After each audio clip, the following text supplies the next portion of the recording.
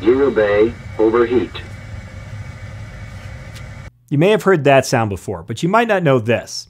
On an average taxi, your airliner's tires can heat up 59 degrees Fahrenheit per mile. All that heat comes from the friction between your tires and the pavement. And during your takeoff roll, your tires can heat up another 95 degrees Fahrenheit. So, on a two mile taxi and takeoff, you could easily pick up 210 degrees of temperature. That means on a 90 degree summer day, as you pull those gear back into the wheel wells, your tires could reach 300 degrees Fahrenheit, hot enough to barbecue with.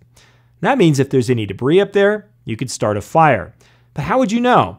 Well, you're not going to smell it right away. That's where your fire loops come in. It's an airliner's version of a fire detection system. There's a couple different varieties. On a CRJ, it uses a metal tube filled with an insulator. The insulator is actually a thermistor, which means that its insulating properties change as its temperature changes. When it's cold, it doesn't allow electricity to flow, and as it gets hot, electricity can start to move. Embedded in that insulator are two different wires, one of which is grounded to the outside of the metal tube. The other one is connected to a power source. You can call it a hot lead. Normally, the thermistor doesn't allow the electricity to move from the hot lead to the ground wire. But in your gear bay, if you had an overheat condition, that would heat up the thermistor and electricity would start to flow from the hot lead to the ground wire. The fire detection can sense this current movement, and then it would indicate that gear bay overheat. The neat thing about this system is it's generally so sensitive, it can tell the difference between an overheat and a fire.